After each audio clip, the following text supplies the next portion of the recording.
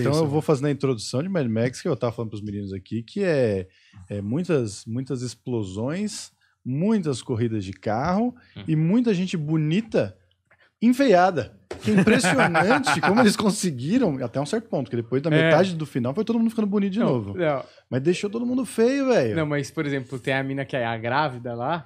A menina que é a Ah, grávida. como é o nome dela? Ela fez Transformers, né? Sim, É. ela, ela, ela. Acho que ela até. Não, ela não veio aqui. Que é a mina do Jason Statham, né? É, que é um absurdo. Ela é linda. Eu fiquei, eu sei que quando eu comecei, teve uma hora que filma bem os caras dentro do carro. Só tem gente linda. Você fala, mano, Sim. os caras não têm No água. apocalipse. Os caras. Mas, mas, mas, tudo, mas tudo isso. Eu não consegui, eu nunca consegui juntar aquele número de pessoas bonitas no meu Não, carro. é a suruba de Noronha, e todo porra. mundo se alimenta bem, toma sol e todo mundo Não, e saudável. meteram um Noite do Terror na cara dela Que e ela continua linda. Eu, eu, eu, se eu pegasse aquela mina com aquela cicatriz na cara e grávida, ela ainda assim seria a mina mais bonita que eu já fiquei na minha vida. Mas tudo é proposital isso, né? O- você colocar só gente muito bonita é proposital também, porque o, o George Miller, ele, ele sabe o que ele tá fazendo, né?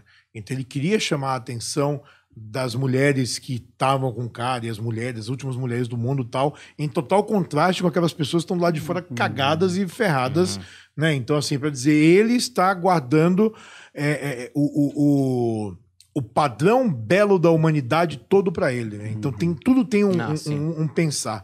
O, o, o Steven Soderbergh, ele fez um texto, acho que em 2017 ou 2018, porque ele ficou obcecado com Mad Max, né?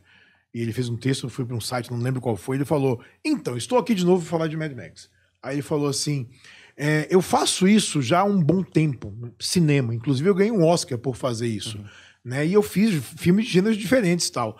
E eu revendo Mad Max, a única coisa que eu pensei é: eu não sei como fazer isso. Eu não sei como é que esse cara conseguiu fazer isso. Eu não faço a menor ideia como o George Miller conseguiu filmar esse negócio. Porque não dá. Porque quando você faz um filme que você tem cobertura de imagem de tudo, ele falou: na cena que estão os caras pulando de um carro pro outro, naqueles postes lá, ele falou.